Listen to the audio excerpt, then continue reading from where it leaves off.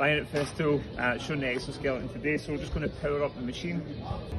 Now it's powering up, the compressor's starting to build up so that we can get the power through the arms when we raise the arms. And there's a number of settings on this that will then kick in at separate parts when you raise your arms. We have to allow the compression to build up within the exoskeleton, and when that noise then stops, you'll hear that the machine is ready to start functioning. So then alleviate the strain on your arms when you're working above head. So you can hear now that the machine is settled. That means now we're ready to work with the machine so we can start to work with tools or whatever we're going to have to do overhead, we can now get that working. And as I go from here and raise the arms, there's going to come a point where that will kick in on the way up because it's going to kick in at some point and then take the strain from the arms and gives you five kilos of support on each arm. If you press that, now when we raise our arms, it's going to kick in and now that is supporting my arms fully above my head.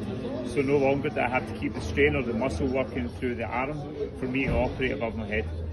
And I can now just walk around like that and work above my head without having to use any of the muscular strain through my back because it now supported or through my arms. So I can work with those above my head.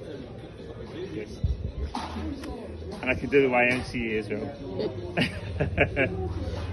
and then we bring that down, we just press this button and it allows the release of the arms back down. And that is the skeleton.